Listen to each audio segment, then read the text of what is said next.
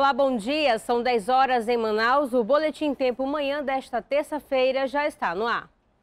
Na noite desta segunda-feira, um sargento da aeronáutica foi encontrado morto dentro do próprio carro no centro da capital. Os assassinos estavam no carro da vítima. O crime aconteceu aqui na rua Ramos Ferreira, no centro da capital. Segundo informações da polícia, o sargento da aeronáutica Melquisedeque da Paixão estava a caminho da faculdade. Por volta das 18h30, quando um dos dois homens que estava dentro do carro com a vítima efetuou um disparo, atingindo um tiro na nuca de Melquisedeque. O sargento foi encontrado no banco do motorista do próprio carro, um Honda Civic azul. De acordo com informações da polícia, o motivo do crime seria uma discussão. Segundo o delegado Cristiano Castilho, existem duas suspeitas que já estão sendo investigadas: a de execução e latrocínio, roubo seguido de morte. Aparentemente a tese de homicídio, né? Aparentemente agora vai começar a passar para eles começarem a investigar através de, de testemunhas, alguns outros fatos também, para ver se realmente fica na, na, na tese do homicídio. Se não for, vai passar a ser um latrocínio, mas aí o latrocínio já passa a ser a delegacia da área mesmo. O crime está sendo investigado pela delegacia especializada em homicídios e sequestros. E se for confirmado o latrocínio, pode ser também acompanhado pela especializada em roubos, furtos e defraudações. Moradores do Nova Vitória, Zona Leste, fazem manifestação contra a falta d'água no local. Segundo eles, já são nove dias sem abastecimento. Pedaços de madeira, pneus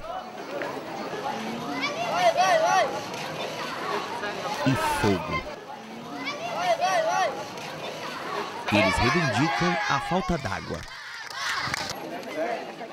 O bairro Nova Vitória, aqui na zona leste de Manaus, já está há nove dias, segundo os moradores, sem um abastecimento de água.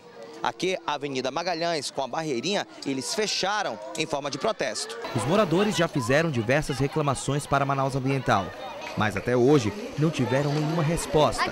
Eles pagam por dia 50 reais para o dono de um poço artesiano para abastecer caixas d'água, enquanto o fornecimento se normaliza pagando água aqui, ó, de 50 reais o tambor e fora a conta que chega todo mês. E aí, às vezes, tem que desbolsar 15 reais para encher um balde. E aí, as pessoas não têm dinheiro, as pessoas são da periferia. Esta aposentada paga a conta em dia e acha um absurdo o serviço ser interrompido. A gente paga água cara para quando acabar não ter água, meu amigo. Chegar no final do mês, só é papel de luz, papel de água e cadê a água? Hoje, nove dias, aí nós temos que estar tá pagando 10 reais, 20 reais para poder encher um tanque de mil litros e mais nada. Então nós estamos reivindicando isso aí, nós estamos procurando nossos direitos. Os policiais da Ronda Ostensiva Cândido Mariano e os homens do Corpo de Bombeiros estiveram presentes no local para evitar maiores transtornos. As Forças Armadas e órgãos de segurança pública do Estado apresentaram nesta segunda-feira o esquema de monitoramento da passagem da tocha olímpica por Manaus. Ações de combate ao terrorismo devem ser intensificadas. A menos de 15 dias da chegada da tocha olímpica, os últimos detalhes do monitoramento terrestre e aquático do símbolo já foram acertados. Os homens envolvidos do Exército, da Força Aérea e da Marinha, eu posso lhe afirmar que estamos com mais de 3 mil homens envolvidos em todo o evento da, da Olimpíada. O trajeto também foi definido. No dia 19, a tocha desembarca no aeroporto Eduardo Gomes, vai passar pelas avenidas Cosme Ferreira, Itaúba, Ponte Rio Negro, Ponta Negra e deve ficar no Hotel Tropical. Depois a tocha segue para as comunidades ribeirinhas São Tomé, Aldeia de Sana, Iranduba, Encontro das Águas e Presidente Figueiredo. Durante todo esse período, ela estará embarcada numa embarcação da Marinha terá uma outra embarcação acompanhando, mais duas embarcações fazendo a escolta, com outras pequenas embarcações também, e embarcações também do, da Secretaria de Segurança Pública. Nos três dias que a tocha deve ficar aqui no Amazonas, um forte esquema de segurança deve funcionar. Além do efetivo nas ruas, o itinerário do símbolo olímpico também vai ser acompanhado por câmeras. Só que nós já temos agora, além das 162,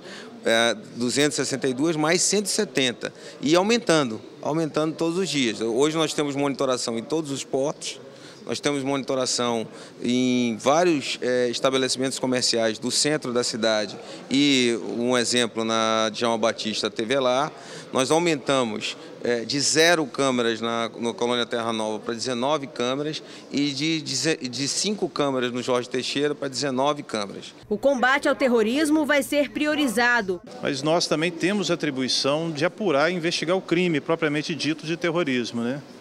É uma atribuição constitucional é, da Polícia Federal, agora com a regulamentação do crime de terrorismo em lei, cabe à Polícia Federal apurar e investigar né, o, o fato. Plano de segurança durante as partidas olímpicas ainda deve ser divulgado, mas a aeronáutica adiantou que sobrevoar o entorno da arena vai ser proibido. E em Manaus, propriamente dito, nós teremos na zona da Arena da Amazônia um espaço aéreo restrito, onde ninguém poderá sobrevoar, e isso naturalmente é, causará algum transtorno para quem utiliza os meios aéreos, mas isso também não durará o tempo todo, apenas um período de tempo anterior à realização daquele jogo e um período posterior para que também ninguém interfira na segurança, tanto antes quanto depois dos jogos. O prefeito de Manaus foi a Brasília em busca de recursos para a capital. Antes, ele reuniu com o secretariado para definir os projetos. O prefeito Arthur Virgílio foi até Brasília apresentar cerca de 50 projetos. Com isso, ele tenta conseguir 250 mil reais em recursos para a capital. Eu estou pedindo projetos assim de 3 milhões, 4 milhões, 2 milhões, vários projetos desse porte cada secretaria apresentando, dá um bom montante. Aí eles dizem o que eles podem atender. Mas o dinheiro só será aplicado em 2017, ou seja, o próximo prefeito que assumir a prefeitura é quem deve aplicar os recursos.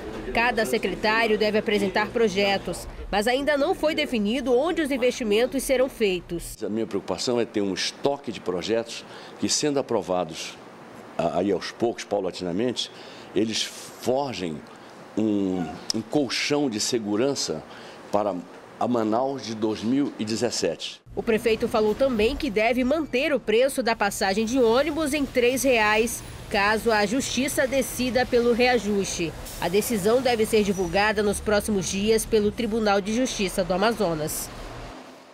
São 10 horas e 8 minutos. O Boletim Tempo Manhã termina aqui.